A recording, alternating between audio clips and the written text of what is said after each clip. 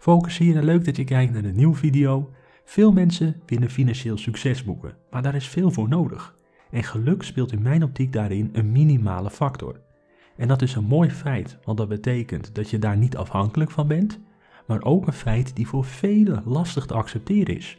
Want als er weinig geluk bij komt kijken, heb je dus in eigen hand. En in deze video deel ik mijn visie en wat tips die je op weg kunnen helpen, dus laten we maar al snel beginnen.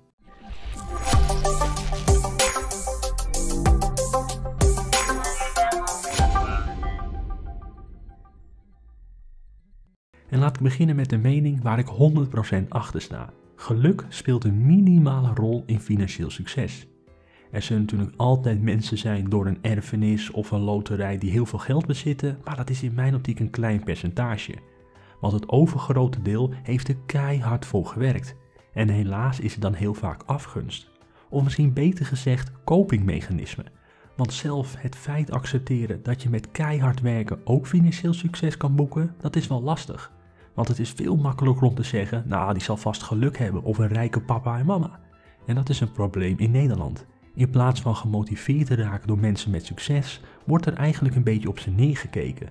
Want heel vaak wordt er naar een reden gezocht van hoe kunnen hun nou succes boeken? Wat is de reden dat het hun wel lukt? Nou, het zal vast wel met geluk te maken hebben. Want je kan bijvoorbeeld ook niet een dure sportauto twee uur lang in een drukke winkelstraat laten staan en dan gewoon eventjes gaan winkelen. Kans is namelijk echt aanwezig dat je terugkomt en je auto is bespuugd of nog erger bekrast. En als je daar goed over nadenkt, is dat echt gekke werk. Iemand heeft keihard gewerkt, beloont zich met iets en iemand die langsloopt en bijvoorbeeld ook zo'n droom heeft, maar het werk daarvoor niet wil verzetten, ja die is jaloers en moet dus zijn frustratie kwijt. Ik merkte het zelf op een ander vlak ook een tijdje geleden. Ik verhuisde namelijk naar een nieuw huis en dat is best wel een groot appartement. En op de allereerste dag kwamen mijn ouders langs om een beetje mee te helpen en natuurlijk ook een kijkje te nemen. En een bewoner meteen met de opmerking, nou je ouders zullen wel meehelpen en ze betalen er zeker ook nog eens voor. Het was misschien een grapje, maar de ondertoon is duidelijk. Merkte het ook in mijn vriendengroep van een paar jaar geleden. Toen ik niet zoveel verdiende, of beter gezegd net zoveel als hun verdiende, was het contact perfect. Toen begon ik wat meer te verdienen en uiteindelijk ging het zelfs erg goed. En direct was het contact minder. Want heel veel mensen gunnen je van alles als ze het zelf maar ook hebben. En mocht je dan in zo'n omgeving zitten, dat kan natuurlijk vrienden zijn of familie, dan is het gewoon belangrijk om daar zoveel mogelijk afstand van te nemen. Want je zal uiteindelijk echt een product worden van je eigen omgeving. In het begin had ik hier echt veel moeite mee, maar nu laat ik het de laatste jaren gewoon van me afglijden. Want negatieve mensen proberen vaak zichzelf in een beter daglicht te zetten door anderen klein te houden. Daar moet je echt voor oppassen. En heel eventjes tussendoor, mocht je op zoek zijn naar een broker om te gaan beleggen, ik beleg bij de Giro en bij Bux en voor beide loopt er een actie via mijn link. Voor 31 januari registreren bij de Giro via mijn link en je krijgt gemaakte transactiekosten tot en met 28 februari terug met een max van 50 euro. En bij Bux krijg je bij registratie via mijn link een gratis aandeel wat kan oplopen tot maar liefst 200 euro. Voor beide staat een linkje in de beschrijving en als je besluit te registreren via de linkjes, maak je dus gebruik van die actie en daarbovenop steun je ook nog eens het kanaal en dat zou ik altijd waarderen. Als een persoon blijft vasthouden aan zijn eigen overtuiging dat je alleen met veel geluk rijk kan worden, dan zal er altijd jaloezie en afgunst blijven. Want als die persoon dan iemand ziet met financieel succes, dan is meteen de gedachte, ja, die zal wel geluk hebben. En dat is dus wel een beetje een pijnlijke waarheid, want financieel succes heb je echt in eigen handen. Neem jij nooit een risico, dan ga je ook nooit beloond worden voor het genomen risico. Elke avond op de bank hangen met Netflix aan, dan ga jij geen extra inkomsten genereren, terwijl iemand anders in de avonturen druk bezig is om wat voor zichzelf op te bouwen. Of in het weekend blijf je diep in de nacht in de kroeg hangen, terwijl de andere persoon probeert in het weekend juist die extra stap te zetten om zodoende wat voor zichzelf op te bouwen. En als je op die bank blijft hangen, elke nacht in de kroeg zit in het weekend en op een gegeven moment na een paar jaar zie jij iemand in een dure auto rijden, denk je bij jezelf, ja, die zal vast wel geluk hebben. Terwijl die persoon in de laatste jaren heel veel werk heeft verzet. Het zijn dus allemaal dagelijkse keuzes die je kans op financieel succes vergroten of juist verkleinen. Dit kanaal bijvoorbeeld ben ik anderhalf jaar geleden begonnen. Toen was ik al actief op YouTube met mijn FIFA kanaal, maar ik zag een opening in deze sector op YouTube. En ik dacht bij mezelf, nou weet je wat, ik ga gewoon keihard werken en dan merk ik het wel. Maandenlang werkte ik alleen nog maar, dag in dag uit, zelfs in het weekend. Ik had eigenlijk een leven wat heel veel mensen liever niet hebben. Maar dat is uiteindelijk nodig om een leven te leiden die mensen wel voor ogen hebben. En een paar weken geleden liet ik bijvoorbeeld zien met YouTube AdSense in 2021 50.000 euro heb verdiend. En dan heb ik het dus alleen over YouTube AdSense. Terwijl ik met mijn FIFA-kanaal zo'n ja, 20 tot 25.000 euro per jaar verdiende. Het was dus een behoorlijk risico wat ik nam en het kostte dus ook heel erg veel tijd en heel erg veel moeite. Want er waren echt dagen dat om half zeven de wekker ging en om 11 uur in de avond ging pas mijn pc weer uit. En kwam daar uiteindelijk wat geluk bij kijken? Natuurlijk, er komt altijd iets van geluk bij kijken. Toevallig werd in die periode beleggen erg populair en ik profiteerde van de groeiende vraag over beleggen. Maar als ik nooit de 70 uur per week had gewerkt, had ik dus nooit de kans gehad om te profiteren van dat zogeheten geluk. Je moet je namelijk positioneren. En het maakt niet uit wat je zelf voor ogen hebt.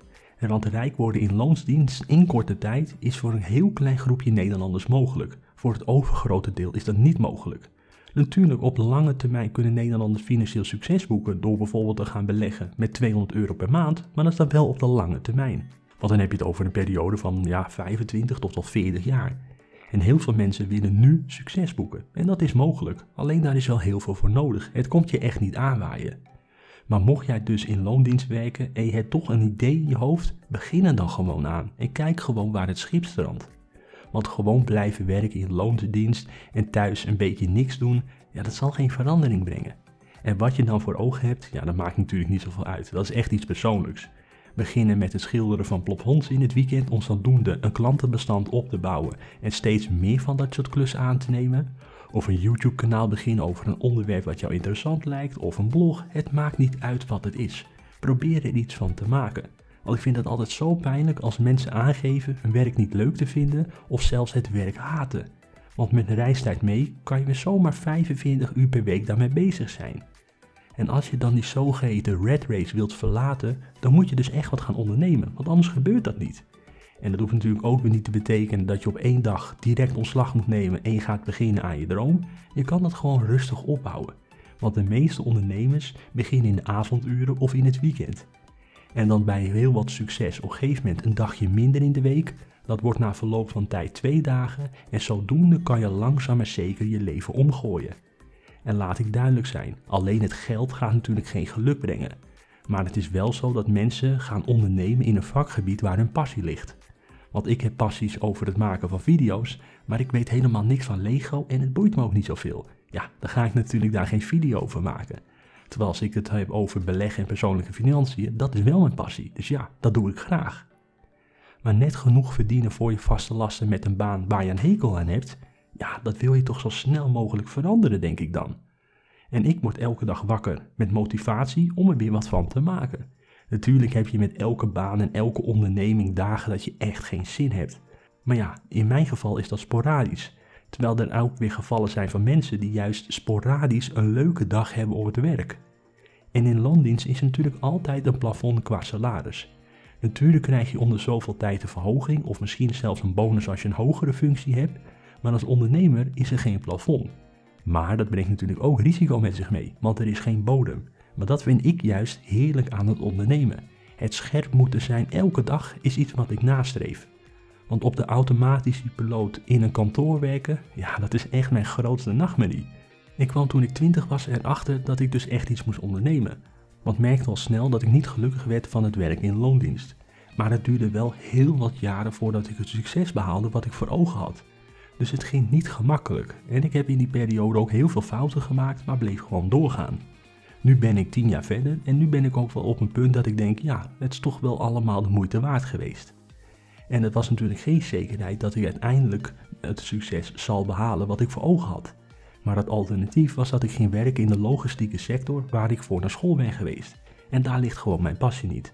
Dat was gewoon een keuze toen ik 16 was. Dat ik dacht bij mezelf, ja, ik moet toch iets kiezen. Maar als je echt iets voor elkaar wilt krijgen, heb ik het idee dat het je wel gaat lukken.